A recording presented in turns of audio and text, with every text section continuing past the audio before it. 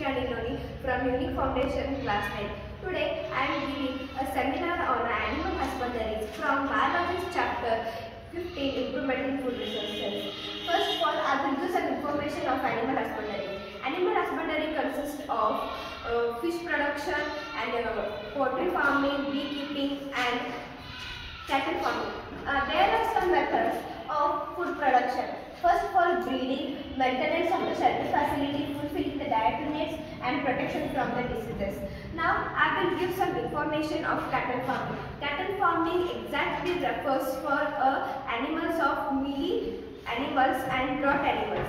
The uh, breeding of uh, cattle farming is, this is refers to the period during the female cattle produce milk after giving birth to the calf and resistance of the diseases when the animals of crossbreeding with each other.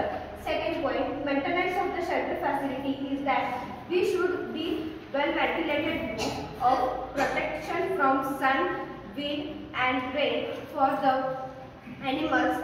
Third point, fulfilling the dietary needs, we should give a proper food for our animals that they will be healthy.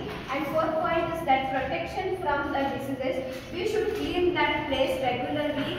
We should brush the cattle and, they will be healthy forever and they will not for diseases. Now I will give information of poultry farming. Poultry farming is referred for duck, chickens and bees. Broiler is referring for meat and layer are producing of eggs. Now I will tell a breeding of a poultry farming. Poultry farming of a breeding is it will crossbreed with a local as in with a leghorns.